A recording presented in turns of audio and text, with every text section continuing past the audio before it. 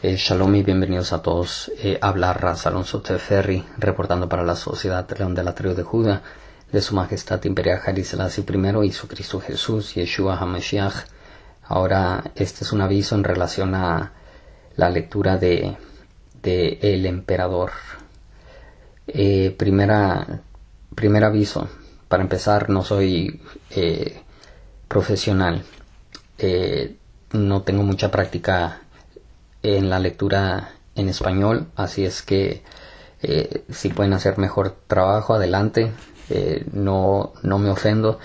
Eh, solamente les aviso que pues um, mi forma de leer no es la, la más pues um, no es la mejor así es de que ejercen paciencia segundo informe o aviso muy importante es que no nos dimos cuenta hasta la última hora o hasta el último momento que eh, en la versión PDF que habíamos imprimido, eh, la cual pues se encuentra el documento el cual eh, vamos a leer titulado El Emperador. No nos habíamos dado cuenta que nos hacían falta las páginas de la número 48 hasta la número 85 y hasta la fecha pues no hemos eh, intentado obtenerlas. De hecho en el pdf que tenemos eh, en la computadora tampoco aparecen esas páginas. Eh, sin embargo vamos a leer lo que tenemos. Pero le recordamos hacen falta la, de la página 48 a la 85 ahora eh, otro aviso importantísimo. El material que contiene el PDF o este documento, este libro titulado El Emperador, es difícil de, de entender, de recibir y, y pues no podemos llegar a conclusiones simplemente al escuchar lo que, lo que se platica, lo que está escrito. La razón que traemos al frente este documento es porque para empezar lo hallamos en español y porque es en relación al emperador de Etiopía, rey de reyes eh, eh, I, por cual razón nos interesa y se hable, se interprete lo que se hable de él mal o bueno, eh, de todos modos es nuestro negocio, no tememos, no tenemos miedo, sabemos y conocemos eh, la certeza y la dignidad y la justicia con la cual reina nuestra majestad, la primera fuerza de la Trinidad, león conquistador de la tribu de Judá, elegido de Dios, rey de reyes de Etiopía, y su Cristo Jesús, y nada nos detendrá de confesar y dar testigo a la única verdad. Así es de que eh, eh, blasfemas no nos incomodan, eh, pero ten, tengan estén avisados que es, el material es difícil de escuchar y concluiremos el aviso con un pasaje que se encuentra en Mi vida y el progreso de Etiopía, volumen 1, de 1892 a 1937, la autobiografía del emperador Haile Selassie, rey de reyes y señor de señores, eh, traducida y anotada por Edward Ullendorf. El pasaje se encuentra en el prefacio y inicia diciendo una casa construida en granito y fuertes fundaciones, ni siquiera ni siquiera el, ataque violento de lluvia torrencial eh, tor torrente efusivos y fuertes vientos podrán ser capaces de derribar. Algunas personas han escrito la historia de mi vida, representando como verdad lo que, de hecho, lo que en verdad derriba de la ignorancia, el error o la envidia. Pero ellos no pueden son sondear o no pueden sacudir no pueden mover la verdad de su lugar, incluso si ellos intentan hacer que otros lo, crean. Ahora hay una nota eh, donde dice, aquí escrito por parte de Su Majestad Imperial Haile Selassie I, donde dice, eh, alguna gente han escrito la historia de mi vida. Entonces, eh, recordemos que es anotado este trabajo por Edward Dullendorf y la nota dice cómo continuamos. Yo no estoy muy claro a cuáles obras, a cuáles trabajos disponibles en el año 1936 al 37 el emperador tenía en mente. Eh, se debería de notar o traer a memoria que en ese tiempo, en el tiempo de esta escritura, de este escrito, 36 años antes de que siquiera este libro apareciera en la imprenta en Amárico, el emperador solamente era o tenía 44 años de edad. En otras palabras, eh, proféticamente aquí nos da advertencia, nos da aviso su majestad imperial Haile Selassie primero que hay, hay unas ocasiones en donde eh, gente pues han escrito la historia de su vida representando como verdad lo que de hecho derriba de ya sea la ignorancia, error o la envidia, pero nada puede mover la verdad de su lugar, incluso si estos falsos intentan hacer que otros lo crean. Así es que eh, con eso pues eh, concluimos esta introducción. Un aviso a todos quienes continuarán escuchando nuestra lectura de El Emperador. Me dice a continuación que en el armario de Maconen, en el archivo privado de aquel fanático coleccionista de denuncias, de repente empezó a cobrar volumen la carpeta que llevaba el nombre de Germame Neway. Es curiosa la vida de las carpetas, añade. Las hay que durante años enteros vegetan sobre un estante, delgadas y descoloridas como hojas secas, cerradas, cubiertas de polvo, esperando en el olvido el día en que, intocadas, finalmente se romperán y se echará al fuego. Estas son las carpetas de los hombres leales, las de los que han llevado una vida ejemplar y de entrega al emperador. Abramos una por el apartado, actos cometidos, nada, negativo. Abrámosla por el de manifestaciones verbales, ni un miserable papel.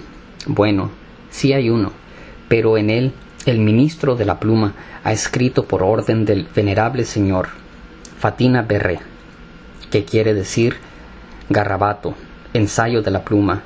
Eso significa que el emperador ha considerado la anotación como un intento de hacerse profesional por parte de algún joven empleado de Maconen que todavía no ha aprendido cuándo y a quién se puede denunciar. O sea, si hay un papel pero sin validez, como un pagare tachado. También ocurre que una carpeta amarillenta y delgada durante años revive en un momento dado, resucita, empieza a ganar peso, engorda. Una carpeta así empieza a oler mal. Se trata de ese conocido olor que emana del lugar donde se ha cometido una deslealtad. Maconen tiene una nariz muy sensible a este aroma empieza a seguir la pista, investiga, dobla la vigilancia. A menudo la vida de la carpeta que se ha movido y que ha aumentado de peso termina de una manera igual de violenta que la de su protagonista. Desaparecen ambos, él de este mundo, la carpeta del armario de Maconen. En este asunto existe como una especie de proporción inversa de tamaños el que en el curso de su lucha contra Palacio se agota, adelgaza y consume tendrá una carpeta cada vez más abultada. Por el contrario, el que hunde firmemente sus simientes en la fidelidad a su majestad y con dignidad engrosa su cúmulo de favores, no pasará de tener un expediente tan fino como la membrana de una vejiga como ya he mencionado, Maconen se dio cuenta de que la carpeta de Germame Neway había empezado de repente a hincharse. Germame procedía de una familia noble y adicta a la corona. Y cuando terminó él el colegio, el bondadoso señor le envió con una beca a los Estados Unidos. Allí acabó una carrera universitaria y regresó al país a la edad de 30 años. Viviría aún otros seis. Germame, Germame, Mr. Richard, señor Richard, pertenecía a ese grupo de gentes subversivas que al volver al imperio se echaban las manos a la cabeza, pero lo hacían en secreto, mientras que de cara al exterior se mostraban leales y decían lo que en palacio se esperaba que dijeran. Y su angustia, su augusta majestad, oh, cuánto se lo reprocho ahora. Se dejaba llevar por aquello. Cuando Germame se presentó ante él, el gran señor lo miró con buenos ojos y lo nombró gobernador de una región de la, de la sureña provincia de Sidamo. Allí la tierra es fértil y el café abundante. Al enterarse de este nombramiento, todos dijeron en palacio que nuestro todopoderoso soberano le había abierto al joven el camino a los más altos honores. Una vez recibida la bendición imperial, Germame partió a su destino y al principio no se volvió a oír hablar de él. Ahora no le, no le quedaba más que esperar pacientemente, y la paciencia era una virtud que se perciaba mucho en palacio, a que el bondadoso señor le llamara ante sí y lo ascendiera un grado más.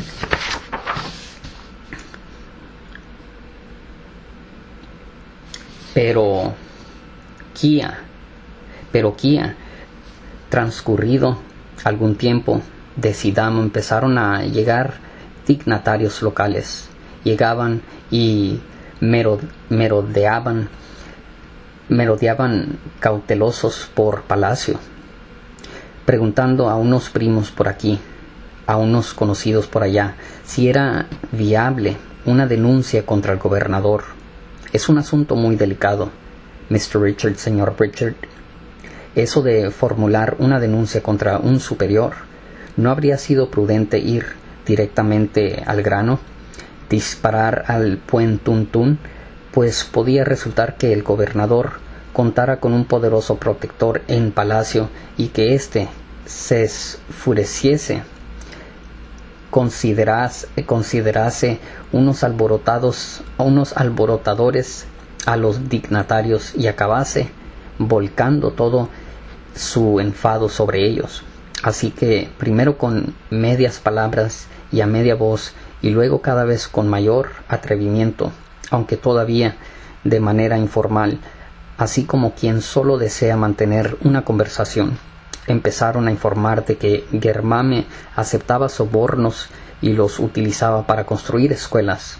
Ahora intenta imaginarse la desazón de aquellos personajes, porque es obvio y comprensible que un gobernador recaudara tributos y que los demás dignatarios hicieran otro tanto. El poder generó dinero. El poder genera dinero Siempre fue así desde que existe el mundo, pero he aquí que aparecía una anomalia, un gobernador que entregaba el tributo para la construcción de escuelas, y el ejemplo que viene desde arriba es una orden para los subordinados, lo que significaba que todos los gerifaltes debían desprenderse de lo que recaudaban, donándolo para la construcción de escuelas. Y ahora dejamos volar por un momento nuestra imaginación y admitamos la infame posibilidad de que en otra provincia aparezca otro Germame haciendo lo mismo. Enseguida tendremos una rebelión de mandamases locales protestando de aquellos métodos y, a continuación, llegaría el fin del imperio, una bella perspectiva primero unos cuantos sentimos y al final la caída de la monarquía. No, señor. Todos en palacio dijeron, eso sí que no. Y sucedió una cosa extraña. El señor Richard, su venerable majestad, no dijo nada. Lo escuchó todo y no dijo nada. guardó silencio, lo cual significaba que le daba otra oportunidad. Pero Germame ya no sabía volver al camino de la obediencia. Transcurrido algún tiempo, los nobles de Sidamo aparecieron de nuevo. Llegaron con la información de que Germame había ido demasiado lejos, había empezado a repartir tierras sin cultivar entre, entre los campesinos que no tenían absolutamente nada, violando así la ley de la propiedad. Germame resultaba ser un comunista, un asunto sumamente grave. Señor mío, hoy repartía tierras de nadie, mañana arrebataría las suyas a los terratenientes, empezaría por las fincas pequeñas y terminaría distribuyendo el patrimonio imperial. Esta vez el bondadoso señor no podía guardar silencio por más tiempo. Germame fue llamado a la capital para la hora de los nombramientos y enviado como gobernador a Tejetiga, donde no podría hacer reparto de tierras porque aquella región estaba habitada solo por nómadas. En el curso de la ceremonia Germame usó cometer Germame osó cometer un desacato que debería haber despertado en su en su augusta majestad la máxima la máxima alerta tras oír su nombramiento no besó la mano del monarca por desgracia a continuación A. W afirma que fue precisamente a partir de entonces cuando Germano organizó el complot. Odiaba a aquel hombre, pero lo admiraba. Había algo en el que atraía a los demás, una fe ardiente, el don de convencer, el valor, la resolución, la inteligencia. Gracias a estos rasgos, su personalidad destacaba sobre el fondo gris de la masa servil y, y temerosa de conformistas y aduladores que llenaban palacio. La primera persona a quien Germame se ganó para llevar a cabo su plan fue su hermano mayor, el general Mingistu Newai, comandante en jefe de la Guardia Imperial, un oficial de temperamento intrépido y un hombre de extraordinaria belleza más tarde, los dos hermanos se ganaron al jefe de la policía imperial, el general Tsigu Debo, y poco después al jefe de la seguridad del palacio, el coronel Werkne Gebayehu, y a otras personalidades del círculo más próximo al emperador. Actuando en la más estricta clandestinidad, los conspiradores crearon un consejo revolucionario que en el momento del golpe contaba con 24 personas. En su mayoría eran oficiales de la Guardia Imperial de Elite y del Servicio de Inteligencia de Palacio Mingistu, que contaba 44 años. Era, era el hombre de más edad en aquel grupo, pero Germame más joven que él, mantuvo su condición de jefe hasta el final. AW sostiene que Makonnen empezó a sospechar algo y que informó al emperador. Haile Selassie convocó entonces al, al coronel Werkene y le preguntó qué había de verdad en todo aquello, a lo que éste contestó que nada en absoluto. Werkne pertenecía al grupo de los allegados al emperador, quien lo había sacado de los bajos fondos de la sociedad para introducirlo directamente en los salones de palacio y tenía depositada en él una confianza sin límites. Tal vez fuera la única persona a la que realmente creía, aunque solo fuese por un cierto confort mental. El sospechar de todo el mundo es agotador. Hay que confiar en alguien para poder descansar el emperador no dio fe a los informes de Maconen, también porque en aquella época sospechaba del de complot no por parte de, no por parte de los hermanos Newai, sino por la del dignatario en del Cacheu, que había mostrado síntomas de una cierta debilidad liberal, de una cierta flojedad en el, en el ejercicio de su cargo, de escana general, generalizada y algo así como una sensación de desaliento.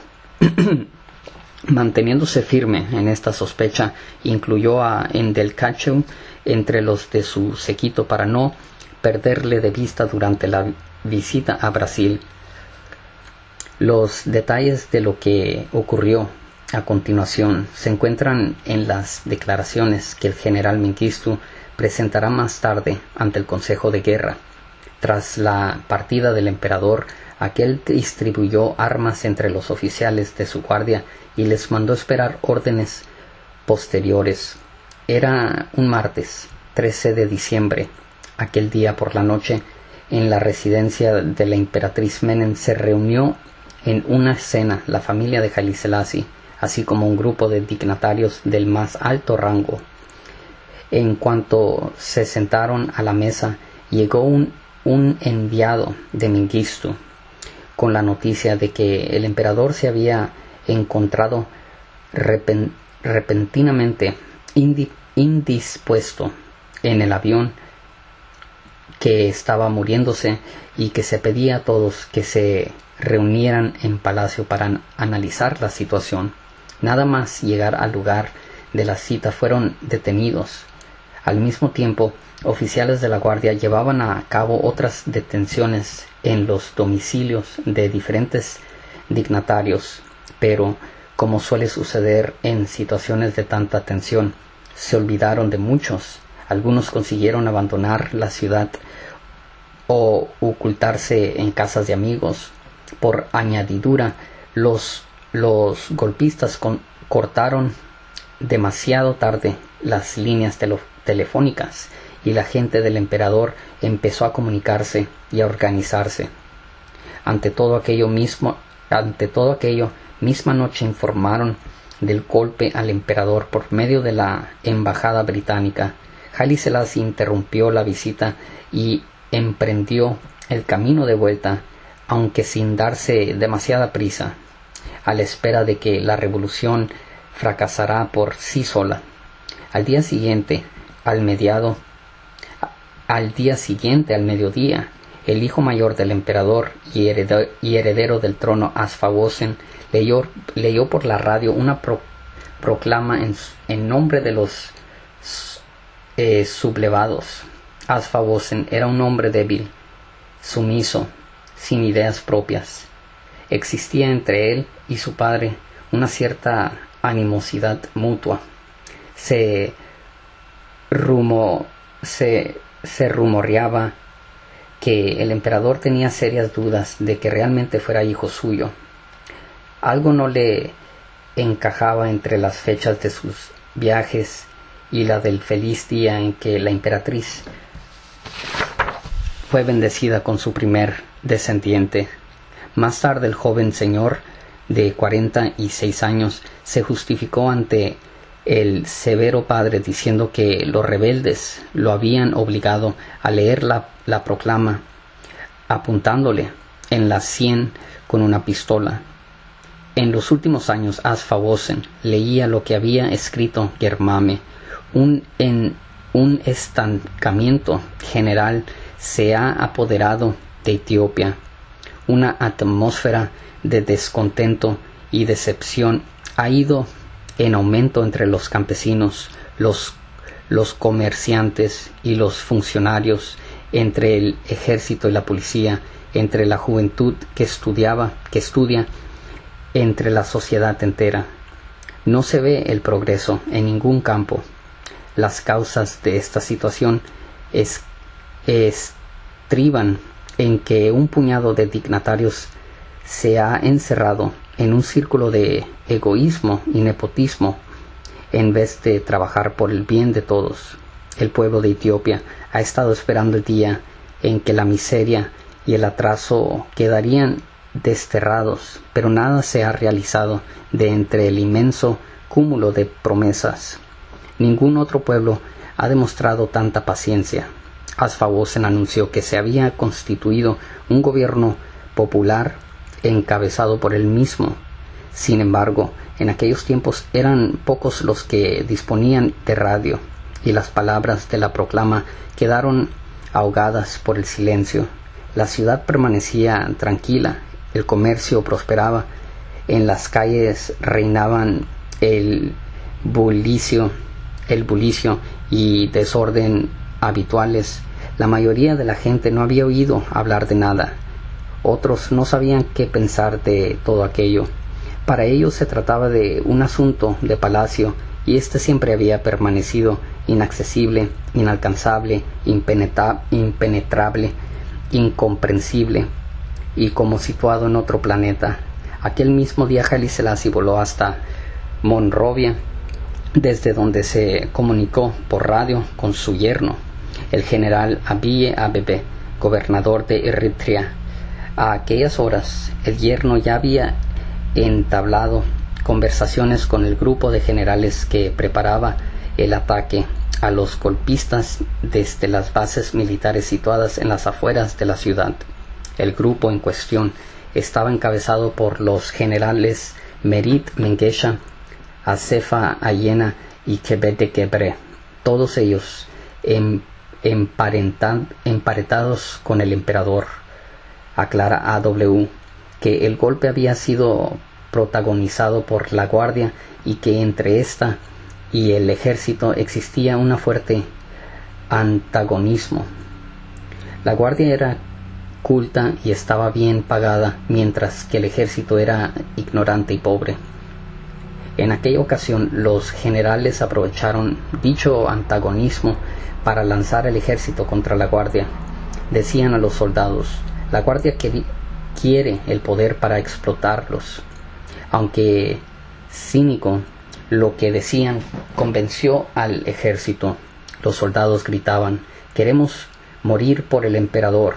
Un gran fervor se había apoderado de los destacamentos que no tardarían en enfrentarse con la muerte.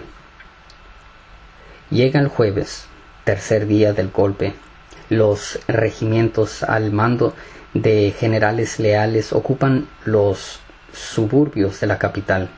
Hay vacilaciones en, la, en el campamento rebelde. Mengistu no da la orden de defenderse. Quiere evitar un baño de sangre. La ciudad todavía está tranquila. El tráfico se desarrolla con normalidad. Un avión la sobrevuela lanzando octavías con el texto de anatema con que ha fulminado a los golpistas el patriarca Basilios, jefe de la iglesia y amigo del emperador. Mientras tanto, este último se ha trasladado en avión desde Monrovia, es decir, Liberia, a Fort Lamy, es decir, Chad. Ahí recibe un mensaje de su yerno informándole de que puede llegar hasta Asmarra, donde reina la calma y todo el mundo espera sumiso. Pero en su DC-6 se estropea un motor. El emperador decide que volarán con solo tres. Al mediodía Mengistu llega a la universidad y se reúne con los estudiantes. Les enseña un mendrugo de pan esto, dice, es lo que les hemos dado de comer hoy a los dignatarios para que se enteren de que se alimentan, se alimenta nuestro pueblo. Tenéis que ayudarnos. En la ciudad se oyen disparos. La batalla por Addis Abeba comienza. Centenares de personas mueren en las calles. El viernes 16 de diciembre es el último día de la sublevación. Desde primeras horas de la mañana, destacamentos del ejército luchan con la guardia. Por la tarde empieza el asedio a Palacio, donde se ha atrincherado el Consejo Revolucionario. El asalto lo da un batallón de tanques al mando de otro yerno del emperador, el capitán de, Reggi Haile Mariam. Rendíos perros, grita desde la torreta de un tanque. Cae atravesado por una ráfaga de ametralladora. En el interior del palacio estallan los obuses de la artillería. Pasillos y habitaciones se llenan de estruendo, humo y llamas. Resulta imposible seguir defendiéndose. Los rebeldes irrumpen en el Salón Verde, donde desde el martes se encuentran detenidos los dignatarios de la Corte Imperial. Abren fuego sobre ellos, mueren los 18 hombres más próximos al emperador. Los promotores del, del complot abandonan ahora el palacio y la ciudad, dirigiéndose hacia los bosques de eucaliptos que cubren los altos de Entoto. La noche se acerca, el avión con el emperador a bordo aterriza en Asmara. Oh sí, señor Richard, aquel día del juicio, nuestro pueblo leal y vasallo dio al venerable señor una muy grata prueba de su devoción, porque cuando aquellos infieles, vencidos, sin remedio, abandonaron palacio y huyeron en desbandada hacia los bosques cercanos. El vulgo, enardecido por nuestro patriarca, se lanzó en su persecución. Nada de disculpen, nada de tanques ni de cañones, amigo mío. Todos hacían lo que tenían más a mano y se unían a los perseguidores, palos, piedras, cuchillos y lanzas. Todo entró en acción la gente de la calle a la que el, el dadivoso Señor colmaba de limosnas tan generosas, se entregó con verdadero afán y odio a la tarea de romper las cabezas desquiciadas de aquellos calumniadores rebeldes que querían arrebatarle su Dios y ofrecerle no se sabe qué vida. Porque si nuestro Señor llegara a faltar, ¿quién le repartaría los óvulos? ¿Y quién lo cortaría con palabras de consuelo? Así que, siguiendo el rastro de sangre de los fugitivos, la ciudad arrastró tras de sí al campo, y podía verse como los, los lugareños apoderándose de lo que tenían a su alcance. Aquel un palo, este un cuchillo, y maldiciendo a los infames, también se lanzaban a la lucha, porque querían lavar la afrenta de la que era víctima el magnánimo, el magnánimo Señor. Rodeadas las hordas de la guardia, se defendieron en los bosques hasta que se les acabaron las municiones, pero luego parte de ellas se rindió y parte murió a manos de los soldados o del pueblo llano. Tres o tal vez cinco mil de aquella gente dio con sus huesos en la cárcel y otros tantos cayeron allí mismo para gran júbilo de hienas y chacales que acudían a aquellos bosques, aun de lugares muy remotos para saquear su hambre de carroña. Incluso mucho tiempo después en aquellos parajes resonaba aún durante noches enteras el aullido y la risa de las alimañas, y los que ultrajaron la dignidad de su extraordinaria majestad, amigo mío, fueron derechos al infierno. El general Debow, por ejemplo, este cayó ya durante el asalto a Palacio, y su cuerpo fue colgado por el vulgo en la puerta de entrada a la primera división ocurrió que el coronel Werkne, habiendo, habiendo podido abandonar Palacio, consiguió alcanzar las afueras de la ciudad, pero allí lo rodearon, lo rodearon, querían apoderarse vivo de él, pero él, señor Richard, no se dejó coger. Disparó hasta el final. Todavía mató a unos cuantos soldados, y cuando le quedó una sola bala, la última se metió el cañón de la pistola en la boca apretó el gatillo y cayó muerto. Su cuerpo lo colgaron de un árbol frente a la catedral de San Jorge. No deja de ser extraño, pero nuestro Señor nunca acabó de dar crédito a la traición de Workne. Transcurrido algún tiempo, se rumiaba que llamaba a su dormitorio a los que estaban de servicio y les ordenaba traerle al coronel.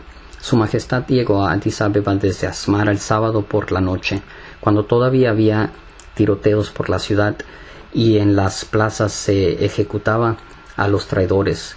Sobre su imperial rostro pudimos contemplar la pena, el cansancio y la tristeza causados por el daño que le habían hecho. Iba en su automóvil flaqueado por una columna de, tanques y carros blindados. La ciudad entera salió a la calle para rendirle un, un homenaje humilde y suplicante y toda ella se puso de rodillas y postró sus cuerpos, y yo, también postrando entre la multitud, pude oír sus gemidos y gritos de horror, sus suspiros y exclamaciones. Nadie se atrevía a mirar a la cara del venerable señor, y ante la puerta principal del palacio, el príncipe de casa, aunque inocente, pues había peleado y tenía sus manos limpias, besó las botas del emperador. Aquella misma noche nuestro todopoderoso soberano mandó matar de un tiro a sus queridos leones que, en lugar de defender la entrada a palacio, habían dejado que se introdujeran en, en los traidores. y, ahora y ahora preguntarás por Germame. Ese espíritu maligno, junto con su hermano y un tal capitán Valle de la Guardia Imperial, huyó de la ciudad y consiguió permanecer oculto una semana. Los tres podían moverse solo durante la noche porque inmediatamente se fijó, se fijó una recompensa de cinco mil dólares por sus cabezas, con lo cual todo el mundo se lanzó en su busca, pues se trataba de muchísimo dinero. Intentaron alcanzar el sur, seguramente querían llegar a Kenia, pero al cabo de una semana, cuando se ocultaban entre unos arbustos sin haber probado bocado en varios días y muertos de sed, puesto que no se atrevían a hacerse presentes en ningún poblado en busca de agua y comida, fueron rodeados por unos campesinos que los acorralaron como a alimañas a las que se quería dar casa. Y fue entonces, según declara, declararía Minquistu, cuando Germame decidió acabar con todo. Según la misma declaración, había comprendido que se había adelantado a la historia, que había ido demasiado deprisa en relación contra, con otros y que si alguien con las armas en la mano aventaja a ésta por un paso, debe morir. Por eso seguramente prefirió decidir la propia muerte y la de todos ellos. Así que cuando ya los campesinos estaban a punto de atraparlos, Germame disparó primero sobre Valle, luego sobre su hermano y finalmente él mismo se pegó un tiro. Los campesinos pensaron que la recompensa se les había ido de las manos, pues se daba por entregarlos vivos, y mira por dónde, amigo mío. De pronto no veían sino tres cadáveres. Sin embargo, solo Germame y Valle estaban muertos. Minguisto un bulto inerte, cuya cara parecía bañada en sangre, aún respiraba. Deprisa y corriendo los llevaron a, a la capital y trasladaron a Mengistu a un hospital. Se informó de se informó de lo sucedido a su majestad, quien tras escuchar todo dijo que quería ver el cuerpo de Germame.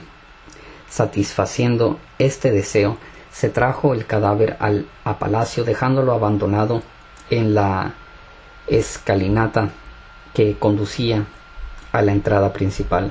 Entonces el bondadoso señor salió de palacio y durante un buen rato permaneció inmóvil, contemplando aquel cuerpo exánime. Mientras lo miraba, guardó silencio. La gente que se encontraba junto a él no le oyó pronunciar palabra. Luego se estremeció y volvió sus pasos hacia el interior, no sin antes ordenar a los lacayos que cerraran la puerta principal. Más tarde vi el cuerpo de Germame colgado de un árbol frente a la catedral de San Jorge. Se había congregado allí una multitud de gente que, escarneciendo a los traidores, aplaudía y profería groseros gritos. Pero todavía quedaba Mengistu. Este, tras salir del hospital, compareció antes un consejo de guerra. Durante el juicio se comportó lleno de soberbia y, contrariamente a las costumbres de palacio, no mostró humildad alguna ni tampoco manifestó ningún deseo de conseguir con súplicas el perdón del egregio Señor.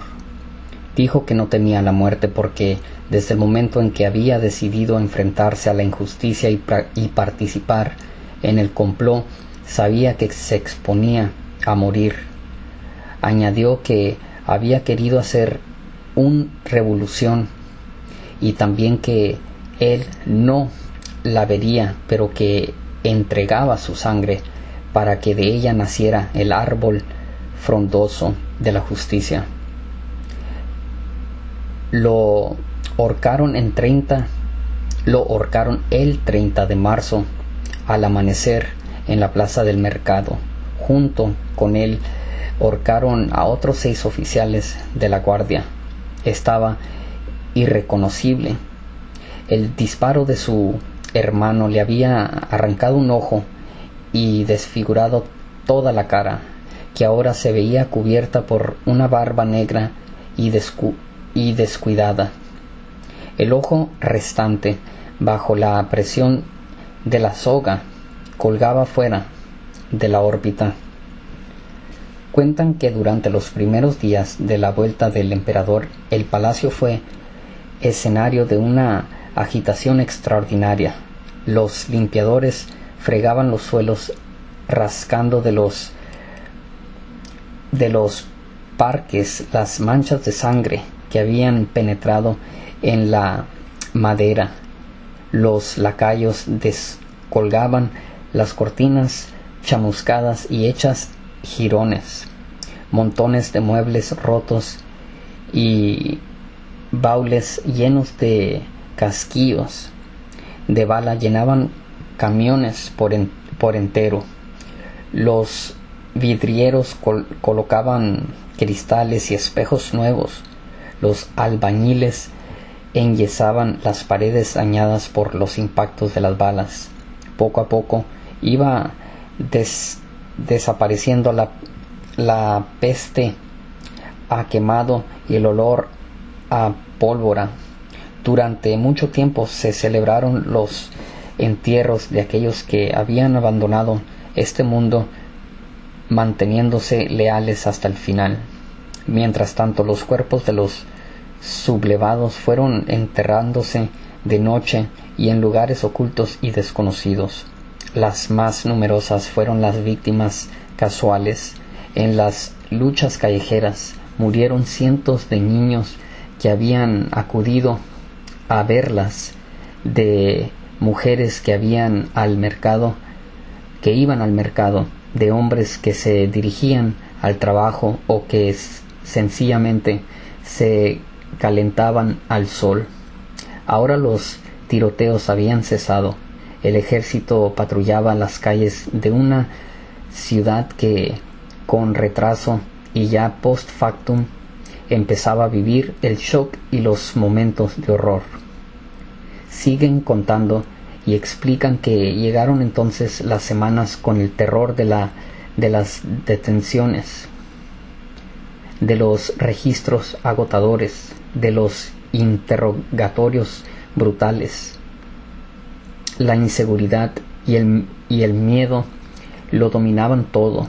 La gente se hablaba al oído corrían rumores de boca en boca y se recordaban los detalles del golpe, añadiendo cada uno de su cosecha lo que podía, en la medida de su fantasía y valor, y además añadiéndolo a escondidas, pues toda discusión acerca de lo sucedido estaba oficialmente condenada y la policía, con la que nunca deben gastarse bromas, incluso cuando ella misma anima a hacerlo, cosa que por lo demás tampoco fue el, el caso al, al querer verse libre de toda sospecha de participación en la conjura, se volvió más peligrosa y eficaz que nunca. Además, no faltaron voluntarios que abastecieran las comisarias de clientes temblorosos de miedo. Todo el mundo estaba a la expectativa de que de qué haría el emperador y de cómo sería su mensaje, aparte del que había transmitido a su vuelta a la capital, asustada y marcada por la traición, mensaje en el que había expresado su dolor y su pena por aquel puñado de ovejas descarriadas que, por abandonar el rebaño, había perdido el camino en medio de un desierto pedregoso, portador de un estigma de sangre. Si mirar a los ojos del emperador siempre había sido muestra de osadía merecedora del mayor castigo, así como un comportamiento contrario a toda tradición, entonces, después de lo que había ocurrido, ni al más audaz de palacio se le habría ocurrido aventurarse a tamaño, a tamaño rojo. Todo el mundo se sentía avergonzado por haber permitido que se fraguara el complot y tenía miedo de la justa ira de su majestad. Y esa, entre avergonzada y medrosa imposibilidad de mirarse el uno al otro, se apoderó de todos, porque al principio nadie sabía cuál era su situación, es decir, a quién reconociera en lo sucesivo el emperador y a quién rechazaría, la lealtad de quién iba a dar por probada y a quién iba a repudiar por desleal, a quién prestaría su oído benévolo y a quién privaría de distinguirlo con su trato personal. Y por eso todos y cada uno inseguros de inseguros y desconfiados de los demás preferían no mirar a los ojos de nadie así que el palacio entero se llenó de ojos que no miraban de miradas que no veían que se clavaban en el suelo que erraban por los techos que contemplaban la punta de los, de los zapatos o se escapaban por las ventanas. Si en aquellos momentos yo me hubiese dispuesto a observar a alguien, enseguida habría despertado en él un pensamiento receloso y e interrogante porque mi, porque me, ¿por qué me mira con tanta atención? ¿Por qué sospecha de mí? ¿De qué me quiere acusar? Y para adelantarse a mi supuesto empeño por mostrar mi lealtad, el hombre a quien yo, a quien yo contemplará sin la menor intención, por pura curiosidad o simple distracción, no creería en ninguna de estas cosas, antes bien, oliéndose una acusación, respondería a mi afán con el suyo, pero multiplicado por dos, y correría a sacudirse hasta la última mota de polvo, pero pero cómo podía entonces, pero cómo podía entonces hacerlo uno sin ensuciando a aquel de quien se sospechaba que quería ensuciarnos a nosotros. Si el simple acto de mirar era una provocación, un chantaje, todo el mundo tenía miedo a levantar la vista y descubrir un ojo chispeante y asesino en algún lugar del espacio, en un rincón, detrás de una cortina o asombrando por una rendija. Además, como el trueno en la adusta nube, en el denso aire del palacio quedaba suspendida la quedaba suspendida latiendo la pregunta de quién fue el culpable, quién había conspirado. Todos estaban en realidad acusados y además con razón. Habida cuenta de que los tres hombres más próximos a nuestro Señor, aquellos en los que más confiaba, aquellos a los que consideraba como a sus propios hijos, y de los que se había sentido tan orgulloso, Le habían puesto una pistola en la sien. Al fin y al cabo, Mengistu, Workney y Debow habían pertenecido a ese puñado selecto de elegidos que en cualquier momento podía acercarse al venerable señor y que incluso disfrutaba, en caso de necesidad, del derecho a entrar en su dormitorio y interrumpir su sueño. Intenta imaginarte ahora, amigo mío, con qué sensación se acostaría en su lecho su bondadosa majestad a partir de, de entonces, sin saber nunca si se despertaría a la mañana siguiente. Ay, qué carga tan ingrata, qué disgustos y contraria y contrariedades conlleva el ejercicio del poder. ¿Y cómo salvarse? Uno de toda sospecha. No existía tal salvación. Cualquier comportamiento, cualquier modo de actuar no hacía sino rebustecerla, hundiéndonos cada vez más. Ay de nosotros si no dispusiéramos a dar explicaciones. Enseguida surgiría la pregunta ¿Por qué ese empeño en dar tantas explicaciones, hijo mío? Se diría que tienes sobre tu conciencia algo que quisieras ocultar, por eso te justificas tanto, o decididos a mostrarnos dispuestos y diligentes en prueba de, buen, de buena voluntad. No tardaríamos en oír el comentario. ¿Por qué ese afán en demostrarnos algo? Se ve que quiere ocultar su vileza y sus malas intenciones mientras solo piensa en cómo agazaparse peor una y mil veces. Y como digo, sospechosos éramos todos. Todos estábamos acusados por más que el magnánimo Señor nunca lo dijera abiertamente ni en voz alta. Pero el recelo se adivinaba en sus ojos, en cómo miraba a sus súbditos de manera tal que cada uno de nosotros se encogía, se postraba en tierra y pensaba despavorido. Es una acusación. El aire se volvió pesado y denso. La presión baja, desalentada, desalentadora y enervante Cayeron las alas de antaño. Algo se rompió, se resquebrajó, en, se resquebrajó en nuestro interior.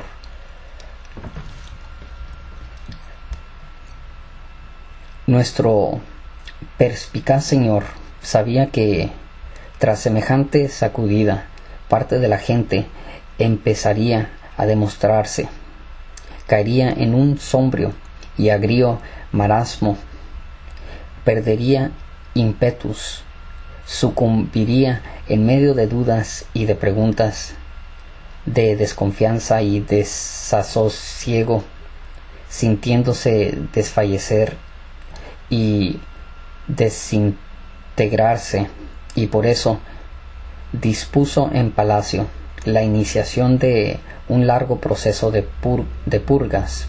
No se trataba de una purga inmediata y total, puesto que el emperador era contrario a toda violencia despiadada y ruidosa, sino más bien de una sustitución dosificada y calculada, que mantenía en, vilo y en estado de miedo permanente a los cortesanos de siempre, al tiempo que abría el palacio a gente nueva que no eran más que hombres que querían vivir bien y hacer carrera. Llegaban ahí procedentes de todo el país, recomendados por los gobernadores de confianza del emperador, desconocidos en su mayoría de las aristocracias capitalina y despreciados por ella a causa de su condición humilde, su falta de buenos modales y su escasa capacidad intelectual, sentían miedo y desconfianza hacia los salones de la corte. Por eso no, no tardaron en constituirse en nueva camarilla, muy apegada a la persona del más extraordinario señor, la gracia llena de bondad del venerable soberano Señor, del soberano les hacía sentirse todos poderosos, sensación embriagadora y a la vez arriesgada, arriesgada para todo aquel, para todo aquel que pretendiera enturbiar el sereno ambiente crepuscular de un salón aristocrático o que irritara con su prolongada presencia o su machaconería a la compañía selecta que allí se reunía. Oh sí, se necesitaba una gran sabiduría y mucho tacto para subyugar un salón, sabiduría o ametralladoras, cosas que pueden comprobar con, con tus propios ojos hoy mismo. Querido amigo, con solo echar un vistazo a nuestro a nuestra tortura ciudad, poco a poco, precisamente aquella gente personal, los elegidos del emperador, empezó a cubrir los puestos clave de palacio, a llenar sus ministerios y además, sin prestar atención a los gruñidos de descontento de los miembros del Consejo de la Corona, quienes consideraban a los nuevos favoritos como gentes de tercera categoría, de un nivel y unas condiciones muy alejadas de, la, de los que debiera cumplir todo afortunado que hubiese sido llamado a servir al Rey de Reyes. Aquel, aquel refunfuñar empero no era sino una demostración de ingenuidad realmente indecorosa por parte de los miembros del mencionado consejo que, que atribuían debilidad a lo que nuestro Señor consideraba fuerza y que eran incapaces de comprender el principio según el cual el poder se fortalece recortando por arriba al mismo tiempo que olvidaban el humo y el fuego que apenas ayer habían atizado aquellos aquellos que llevando mucho tiempo en la cumbre habían acabado por debilitarse. La gente nueva se caracterizaba también por otro rasgo útil e importante. No tenía pasado, nunca había practicado en ningún complot, ni sus pezuñas estaban gastadas de tanto patear. No tenía nada vergonzoso que ocultar debajo de la capa. Vaya, ni tan siquiera conocían la existencia de conspiración alguna, porque al fin y al cabo, como podían saber nada si su si su noble majestad había prohibido escribir la historia de Etiopía, demasiado jóvenes, educados en provincias muy alejadas, ignoraban que el propio emperador había llegado al poder gracias a un complot que en 1916, ayudado por embajadas occidentales, había dado un golpe de Estado y desplazado al legítimo heredero del trono Lich Yasu, que ante la inminencia de la invasión italiana había jurado públicamente derramar su sangre por Etiopía y que cuando aquella se produjo se embarcó para Inglaterra y allí pasó la, la guerra en la tranquila ciudad de Bath.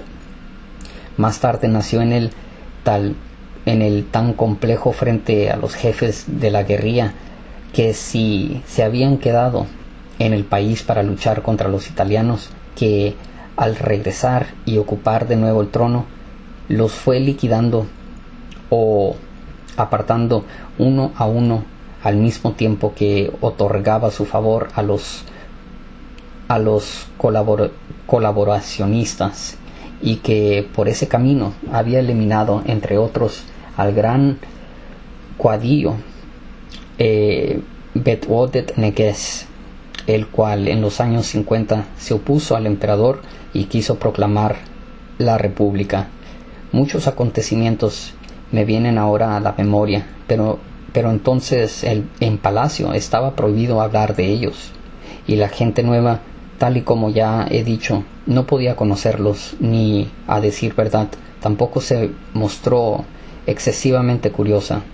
Por otra parte, como carecía de vinculaciones antiguas, su única razón de ser consistía en sentirse ligado al trono, su único apoyo, la persona del emperador. De este modo, el más extraordinario señor había creado una fuerza que, a lo largo de los últimos años de su reinado, sostuvo el sillón imperial minado por Germame. Y como estábamos en plena época de purgas, cada día, en cuanto se acercaba la hora de los nombramientos y por lo tanto de las degradaciones, a nosotros los viejos funcionarios de palacio nos, invadía el temor por nuestras mesas. Cada uno de nosotros se sentaba detrás de la suya, temblando por su destino, capaz de hacer cualquier cosa con tal de que no le quitaran a uno este mueble de debajo de los codos. Durante el proceso de Minquisto, un temor generalizado se aposentó en aquellas mesas, temor a que el general aportase pruebas de que todos habían tomado parte en el complot, pues tal participación, incluso la más remota, incluso el aplauso más débil y secreto, acababa en la horca. Así cuando Mingistu, sin haber señalado a nadie, selló sus labios solo para volverlos a abrir el día del juicio final, las dichosas mesas exhalaron un alado, exhalaron un alado suspiro de alivio. Sin embargo, el temor a la horca no tardó nada en ser sustituido por otro, el temor a la purga, a la aniquilación total de la personalidad. Ahora el generoso Señor ya no arrojaba a las mazmoras, sino que simplemente apartaba de palacio enviando a casa, y ese enviar a casa equivalía a una condena a ser nadie. Hasta entonces uno había sido hombre de palacio y por lo tanto alguien importante, destacado, mencionado, decisivo, influyente, respetado y escuchado, y todo esto daba sentido a su existencia y su presencia en el mundo, a su vida, a su utilidad y valer. Y he aquí que nuestro Señor te llama a la hora de los nombramientos y te envía a casa para siempre. En tan solo un segundo todo se desvanece, dejas de existir, nadie volverá a mencionarte, a destacarte, a respetarte. repetirás las mismas palabras que pronunciarás ayer, pero ayer las habían escuchado con devoción y hoy no les prestarán atención alguna.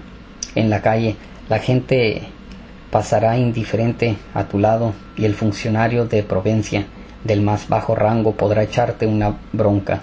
El emperador te ha convertido en un niño débil e indefenso y te ha dejado abandonado a una manada de chacales. Ahora demuestra de lo que eres capaz y además Dios no lo quiera, es posible que empiecen a a hurgar, a olfatear, a rascar.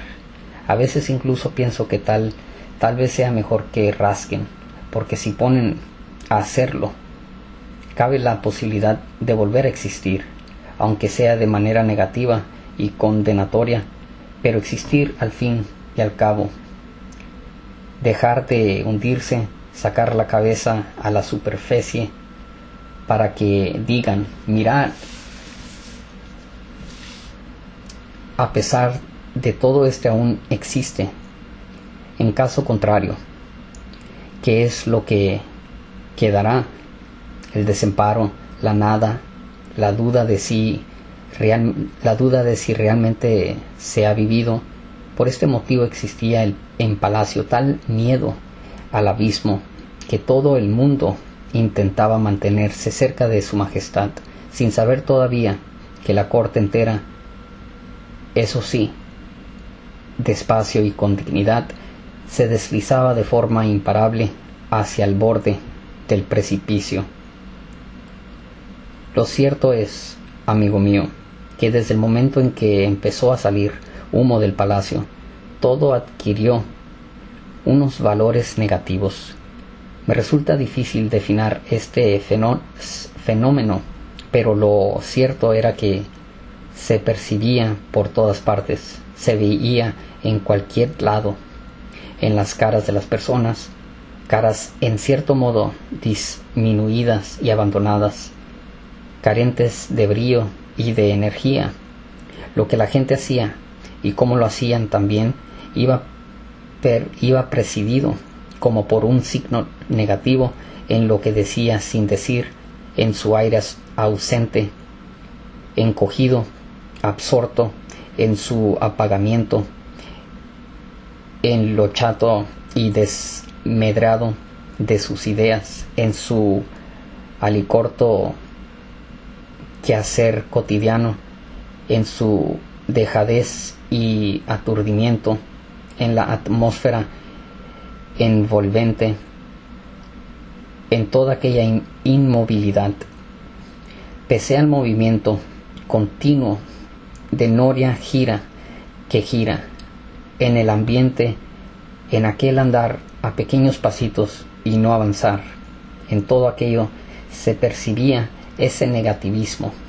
Y por mucho que el emperador siguiere, siguiese promulgando decretos y esforzándose por los diferentes asuntos, por muchos que se levantase temprano y trabajase sin descanso, ya todo daba igual, todo acababa invariablemente bajo cero, cada vez más bajo cero, porque desde el día en que Germame había puesto fin a su vida y su hermano fue fuera colgado en la plaza principal de la ciudad, las relaciones entre las personas y las cosas empezaron a regirse por aquellas leyes de signo negativo, como si las personas no pudieron dormir, dominar las cosas, las cuales existían sin existir, llevando una vida independiente, maliciosa y escurridiza. Tal era la fuerza mágica de las cosas que todo el mundo se sentía inerme ante su imparable capacidad para aparecer y desaparecer y nadie sabía cómo quebrantar ni cómo dominar su autosuficiencia. Y esa sensación de indefensión de estar en continua pérdida ese sucumbir ante el más fuerte hacia que cada uno cayese en una depresión cada vez más profunda, en una especie de letargo mortal que lo convertía en un zombie, en un alma en pena, en un cadáver viviente. Se, se deterrorearon incluso las conversaciones, que perdieron vigor y fuerza. Empezaban, pero se diría que quedaban inconclusas. Siempre llegaban a un punto invisible pero perfectamente perceptible en el que se hacía silencio, un silencio que encerraba la, la certeza de que todo era ya sabido y estaba claro, pero claro de una manera oscura, sabido de una manera imposible de conocer, poderoso en su indefensión y tras comprobar esas verdades con unos momentos de silencio. La conversación cambiaba de, rumbo dirigiéndose hacia otros derroteros amorfos, tribales, triviales e insignificantes. El palacio se hundía, todos lo sentíamos, nosotros, la vieja guardia del venerable señor a la que el destino había librado de la purga sentíamos como bajada la temperatura y que la vida, aunque cuidadosamente enmarcada por el ritual, era una vida de papel banal, negativa. Más adelante PM dice que aunque el emperador hacía, había decidido ignorar el golpe de diciembre y nunca volvería a mencionar el tema, la, la intentona de los de los hermanos Newey causaba daños cada vez más graves en Palacio a medida que, que, el, tiempo, que el tiempo transcurría las consecuencias del golpe. No solo no solo no se le debilitaban sino que aumentaban sensiblemente convirtiéndose en la causa principal de los nuevos y numerosos cambios que se produjeron en la vida de la corte y del imperio. Mortalmente herido, el palacio nunca más volvió a disfrutar de una verdadera paz y tranquilidad. La situación en la ciudad también iba cambiando poco a poco. En los informes secretos de la policía se empezó a mencionar por primera vez la existencia de disturbios. Por suerte, añade PM, todavía no se trataba de unos disturbios a gran escala, con todas las de la ley, sino más bien en un principio de pequeñas agitaciones de, de vacilaciones sin importancia, de rumores de doble sentido, de susurros, de, de risas ahogadas, de una pesadez, una pesadez algo pronunciada entre la gente, de un esperar con los brazos cruzados lo que traería el mañana, de cierta confusión y desconcierto y de un intento de evitarlo todo y de negarse a participar en cualquier cosa. Latente en todas estas actitudes, reconoce que, basándose en tales informes, resultaba difícil emprender acciones tendentes a restablecer el orden, pues las denuncias eran demasiadas vagas e incluso alentadoramente inocentes. Solo decían que algo, algo flotaba en el ambiente, pero no definían de manera clara el qué, el qué y el dónde. Y al no disponer de una información de este tipo, dónde enviar los tanques o en qué dirección mandar disparar. Por lo general los informes indicaban que los murmullos de descontento procedían de la universidad el nuevo y el único centro de enseñanza superior del país, en donde Dios sabe cómo habían aparecido elementos escépticos y hostiles al régimen, capaces de lanzar infames calumnias carantes de todo fundamento, con el único objeto de causarle problemas al emperador. Luego añade que el monarca quien a pesar de su avanzada edad conservaba una mente muy lúcida, cosa que no dejaba de causar sorpresa entre los que lo rodeaban, había comprendido antes y mejor que ninguno de sus allegados que se acercaban tiempos nuevos y que había llegado la hora de aunar esfuerzos, ponerse al día, darle al acelerador y alcanzar al de delante, alcanzarle e incluso tomarle la delantera. Sí, señor, insiste, incluso tomarle la delantera. Confiesa, hoy ya se puede hablar de esto, que una parte de Palacio se mostró hostil a tales ambiciones, murmurando en privado que en vez de ceder a la tentación que ofrecían todas aquellas novedades y reformas dudosas, habría sido mejor poner fin a las inclinaciones extranjerizantes de la juventud y cortar de raíz la absurda opinión según la cual el país debía ofrecer otro aspecto.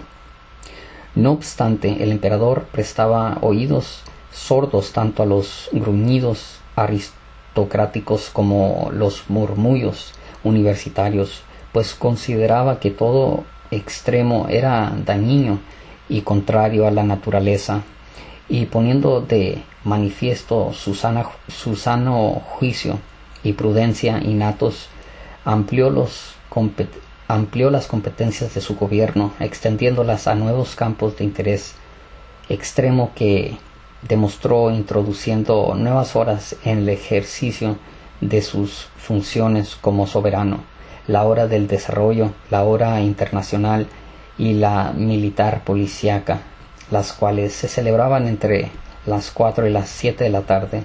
Con el mismo objetivo creó ministerios e instituciones ad hoc, delegaciones filiales, representaciones y comisiones en las que introdujo todo el, plantel de gente nueva, bien educada, fiel y adicta.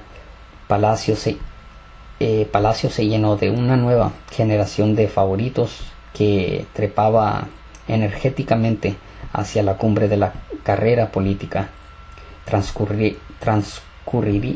transcurrían, recuerda, PM, los primeros años 60